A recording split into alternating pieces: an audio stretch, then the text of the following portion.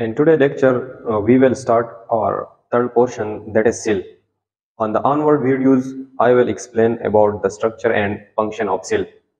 लेकिन cell theory में हमारे साथ एक पॉइंट रह गया था सबसे पहले हम उसको एक्सप्लेन करते हैं वो टॉपिक था हमारे पास सब सेलुलर पार्टिकल हमारे पास जो सिल थ्योरी थी उसका जो पहला पॉइंट था उसमें हमने ये कहा था कि दुनिया में जितनी भी लिविंग ऑर्गेनिज्म है वो सिल से बने हैं तो उस पॉइंट के मुताबिक हमारे पास तीन एक्सेप्शन है। हमारे पास इस दुनिया में इस तरह की थ्री पार्टिकल है, जो सिल से बने नहीं है, लेकिन उनमें भी कुछ लिविंग करेक्टरिस्टिक जो है, वो मौजूद है। उसमें सबसे पहले हमारे पास है वायरस वायरस जो है, इसको हम ए सेलुलर लाइफ भी कहते हैं। ये हमारे पास जो है, इसको हम लिविंग भी कहते हैं और नॉन लिविंग भी कहते हैं। ये इस ये ए सिल से नहीं बना है। इसकी बॉडी जो है, ये हमारे पास है सब सेलुलर ये सिल सिल के कुछ कंपोनेंट से बने हैं। इसमें हमारे पास सिल का जो कंपोनेंट होगा, या तो आरएनए होगा। अगर आरएनए नहीं होगा तो या इसमें डीएनए होगा। ये आरएनए और डीएनए हमारे पास प्रोटीन कोट में होंगे। इन प्रोटीन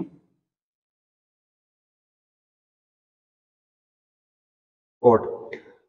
तो वायरस हमारे पास ए सेलुलर या सब सेलुलर पार्टिकल है। जिसे हम ना लिविंग थिंग के, हम इसको लिविंग थिंग नहीं कह सकते। इसमें लिविंग का एक ही करेक्टरिस्टिक है कि ये हमारे पास करते हैं रिप्रोडक्शन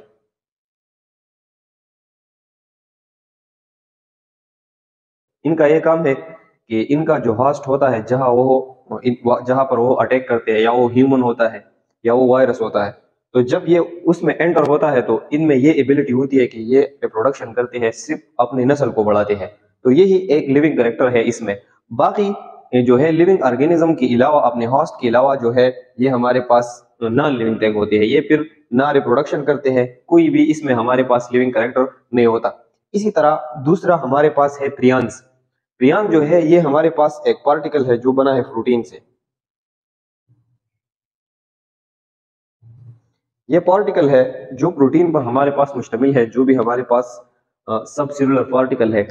तो ये भी हमारे पास ह्यूमन बॉडी पर अटैक करता है और हम ह्यूमन में मुख्तलिफ़ किस्म की बीमारी आगाज़ करता है। तो ये भी हमारे पास सिल नहीं है, लेकिन सिर्फ़ हमारे पास प्रोटीन है और इसमें भी ये एबिलिटी है कि ये हमारे पास ह्यूमन बॉडी में डिवाइड होते हैं। अपनी जनरेशन को जो है वो बढ़ाते हैं। इसी तरह थर्ड जो हमारे पास सब सेलुलर पार्टिकल है, वो हमारे पास है विराइड्स विराइड जो है ये हमारे पास सिर्फ़ और सिर्फ़ आरएनए पार्टिकल पर कंसिस्ट होते हैं और ये भी ह्यूमन पर अटैक करते हैं, उनमें डिवाइड होते हैं और आउटसाइड द ह्यूमन जो है ये जस्ट एज अ पार्टिकल होते हैं।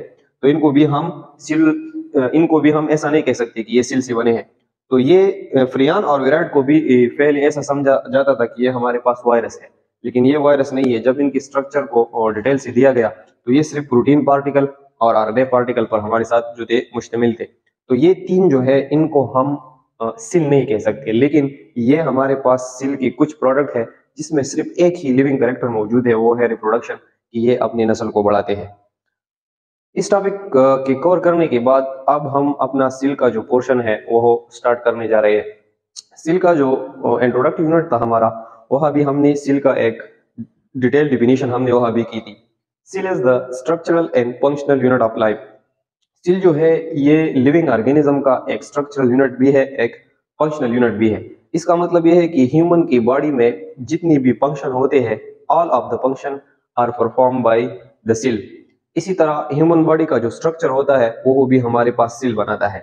ये सिल जो है, ये टिश्यू बनाती है। टिश्यू से हमारे पास अर्गन बनता है। अर्गन से हमारे पास सिस्टम और जब सिस्टम कंबाइन होता है तो उससे हमारे पास एक बॉडी बन जाती है। तो इसी तरह जो सिल है, ये हमारा एक स्ट्रक्चरल एंड फंक्शनल यूनिट है।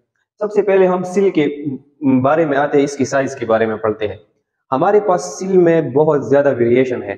सिल की साइज़ में भी हमारे पास वेरिएशन है चेंजेस है, मुख्तलिफ़ किस्म की साइज़ की सिल हमारे साथ मौजूद है।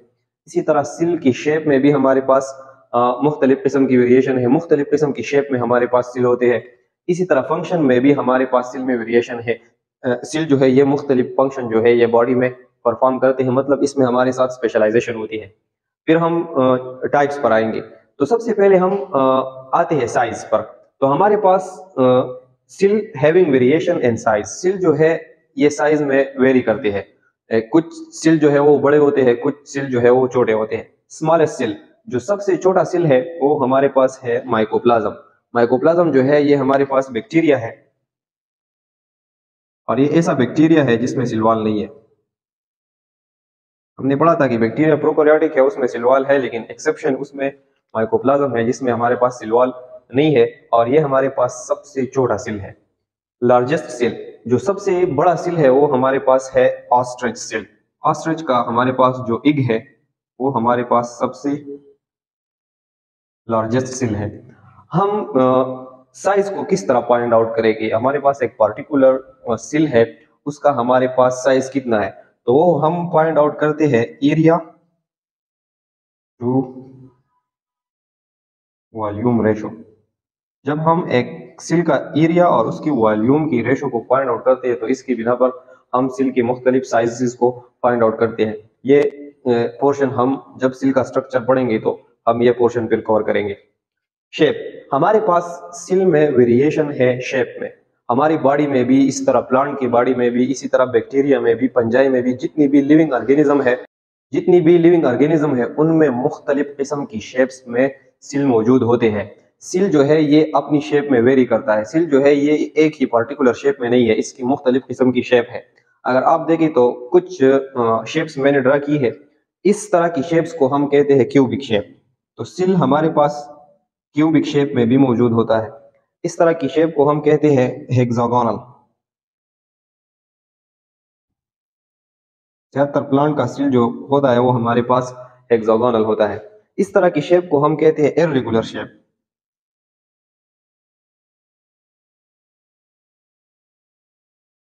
इस तरह की शेप को हम कहते हैं सर्कुलर इस तरह की शेप को हम कहते हैं स्पाइरल तो इस, ये तो मैंने कुछ एग्ज़ाम्पल ड्रा की है, लेकिन सिल जो है, ये हमारे पास मुख्तलिफ़ किस्म की शेप में होता है। इसका मतलब है कि सिल की शेप में हमारे पास वेरिएशन है। अगर एक सिल है वो न्यूरॉन है, जो ब्रेन में हमारे साथ पाए जाते हैं, उसका जो हमारे पास शेप होगा वो हो अलग होगा। इस तरह वो सिल जो हमारे साथ किडनी में पाए जाते हैं तो उसका शेप हमारे पास अलग होगा। इसी तरह हमारे पास सिल जो है, इसमें वेरिएशन होती है शेप में। फ़ंक्शन सिल हैव वेरिएशन एंड फ़ंक्शन हमारे पास सिल में फ़ंक्शन वेरिएशन होती है फ़ंक्शन में। हर एक सिल जो है, ये बॉडी में मुख्तलिफ़ किस्म के फ़ंक्शन जो है परफॉर्म करते हैं। अगर आप निफ्रॉनल सिल देखें, जो हमारे पास किडनी में है तो उनका काम यह है कि ये एक्सक्रीशन का काम करें। अगर आप ब्रेन में न्यूरॉन सिल को देगी तो उनका यह काम है कि वो हमारे पास इलेक्ट्रिकल इम्पल्स को कंडक्ट करें। तो इसी तरह हमारे बॉडी में जो बोन सिल्स है, उनका अलग काम है। इस तरह हमारे पास जो ब्लड सिल है उनका अलग काम है, उनका शेप भी मुख्तलिफ़ है, उनका फ़ंक्शन भी मुख्तलिफ़ है। इस प्रोसेस को हम कहते हैं स्पेशलाइजेशन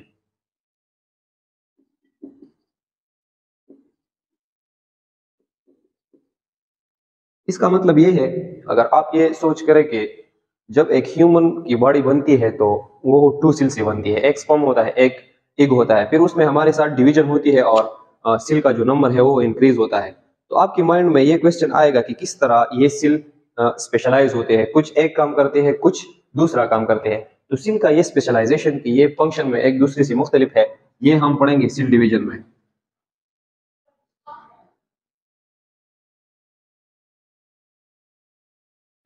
ये कॉन्सेप्ट हम फिर पढ़ेंगे सिल डिवीज़न में। तो इसी तरह हमारे पास सिल जो होते हैं, ये साइज़ में शेप में और फ़ंक्शन में एक दूसरे के साथ मुख्तलिफ़ होते हैं। तो अब हम जो अपने आने वालों आने वाले लेक्चर्स में जो सिल का एक स्ट्रक्चर पढ़ेंगे, वो हम एक जनरलाइज स्ट्रक्चर पढ़ेंगे। हम उसकी अर्गनील का एक जनरलाइज स्ट्रक्चर पढ़ेंगे। हम एक स्पेशलाइज स्ट्रक्चर नहीं पढ़ेंगे, एक पार्टिकुलर अर्गन का या एक पार्टिकुलर सिस्टम का। हम स्पेशलाइज स्ट्रक्चर और स्पेशलाइज फ़ंक्शन तब पढ़ेंगे जब हम एक पार्टिकुलर सिस्टम पर आए और उस सिस्टम की हम कंप्लीट स्टडी करते हैं।